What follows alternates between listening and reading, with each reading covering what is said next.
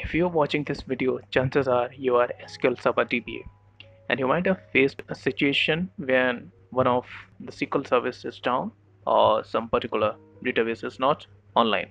Whenever a SQL Server box is rebooted, scheduled or unexpected, we are supposed to do what we call as SQL Server health check or sanity check. To connect to the server, we make sure all the services are online and all the databases are online.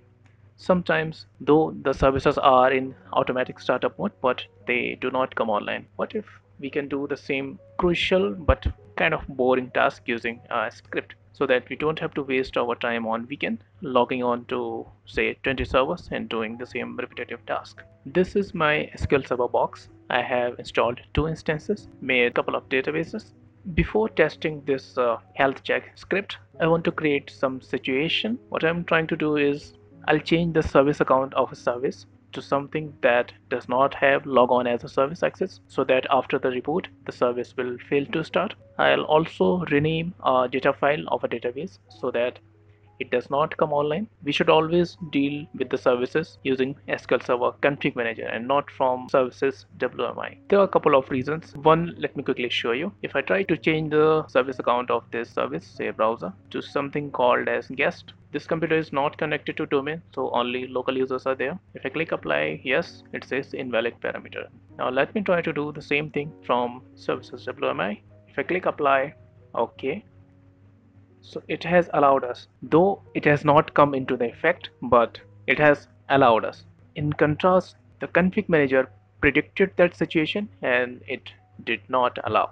So that's one of the reason why we should always deal with the SQL Server services from configuration manager. Okay so we have changed the service account to something and I have specifically made sure that this guest count does not have logon as a service permission. I'll also try to change the name of a data file of this database to summarize this situation, we have changed service account of a service to something that does not have logon as a service rights. And also we renamed data file of a database so that it does not come online. Now it's 6.31 a.m. in the morning and I'm rebooting this box. Let me select something, say hardware maintenance unplanned and let's see what our script tells us about this at 6.32, I've got an email that says sanity check failed on server and then server name. Let's see what it says. It says server has come online. Following is the last reboot information, the time when the reboot was initiated and the name of the person who did that. This is a local server, so we did not get the name. If it was connected to a domain, we would get the actual name of the user. Then it says all the SQL services have been started and running fine except below services that is the SQL Server browser service and why it did not start because of a logon failure. Then it also says something about the above error. If the information in service start failure message is not sufficient, please check the SQL Server error log files. We have error log files for DB Engine, SSRS, SSIS. We can check that to troubleshoot if the service is not starting. Then it says all the databases are up and running on SQL Server instance, instance name, and then below databases are not online on SQL Server instance. The database is in recovery pending state. And based on this state, it also shows a small description. This state indicates that the database files are not found on the file system because we renamed it. So let's go back to the server and see how we got this information. So here we are back to our SQL server. So I have created a scheduled task that runs every time whenever the system is started.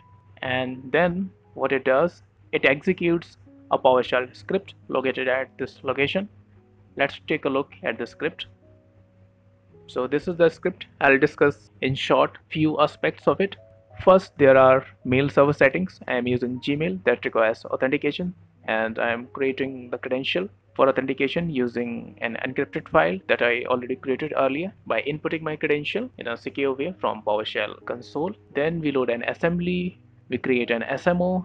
Now, the first thing whenever the server is started, first thing I want to do is I want to check if any DB engine service is in automatic mode and not starting. And if that is the case, it should start for each of that service. Next, if you go down, it will check for the rest of the service and start them then it fetches the last reboot information from the event viewer. After that it checks if there is some service that is still not running. It tries to start that after some gap. If it doesn't it just fetches the information from the event viewer why that service was not started. I've also created some flags to keep check if i should consider the sanity check as success or failure. If any of the services down it will be marked as failure. If any of the databases in particular state it will also be marked as failure. If the database size is huge or before the restart if there was some large portion of uncommitted transaction the database takes some time to recover. At that time it shows the state as recovering. I've tried to cover that situation in this portion. It waits for the database to come online and replies if the databases are back into online or not and then sends us the information regarding the sanity check. I've also incorporated basic error handling say because of the PowerShell version or if there is some syntax error in the script we will be notified. I am also logging every time whenever the script is running. So let's make everything normal and I want to see how does the successful notification reads. So I'll make this database online. We can set it at emergency, detach and reattach but for now I'm just stopping the instance and renaming the file back. I'm also changing the service account back to local service. Okay so now we are good. All the databases services are up and running and all the databases are online. If I rerun this task that will simulate the event of sanity check and we should get an email after 643 saying that everything is up and running fine. Let's see if we get. At 643 we got an email that says sanity check completed with success on server it gets us the last reboot information. Then it says all the SQL services have been started and running fine. All the databases are up and running fine on this instance and another one. In our current environment we have few databases in offline mode so this script will simply ignore that and consider it as a successful sanity check. Now let me show you how I can change that. If I bring this database offline and I do a sanity check at 646 though this database is offline it will still say that sanity check got completed successfully. Now if I want to change that I want if any of the database is offline it should mark sanity check as failure. To do that I'll simply mark this flag as 0 the default value of this flag is 1 so at 648 I'm rerunning the sanity check. So as we can see first mail we got that it, it got completed and second it says failed. Let's check the success one. It shows the database was offline but still the sanity check was completed with success. Similarly in the next one when we change the flag the database was still offline but now it has marked it as a failure.